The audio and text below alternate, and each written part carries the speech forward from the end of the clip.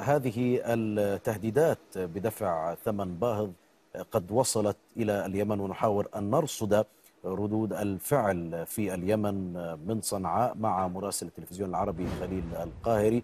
نتنياهو يتوعد اليمن بدفع ثمن باهظ ويقول إن إسرائيل محاطة بمحور الشر الإيراني وفق تعليقه على الصاروخ البالستي الذي أطلق من اليمن ووسط إلى ووصل إلى وسط إسرائيل. عادة كيف يرد الحوثيون على هذه التصريحات الإسرائيلية؟ وإذا كان هنالك ردود فعل جديدة بهذا الشأن.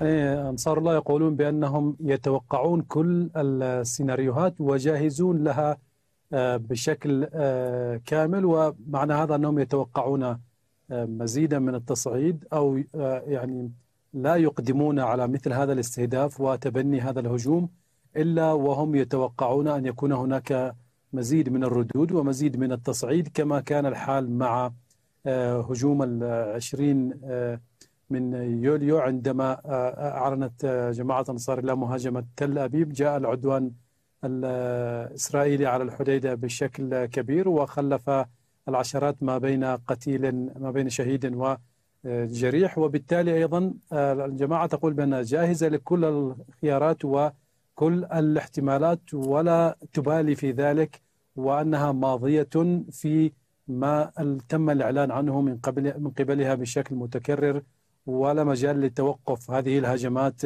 ولا هذا الاستهداف للعمق الإسرائيلي ولا للسفن الأمريكية والبريطانية والإسرائيلية ولا لمينائيلات طالما العدوان الإسرائيلي على غزة مستمر والعدوان الأمريكي والبريطاني على اليمن مستمر أيضا.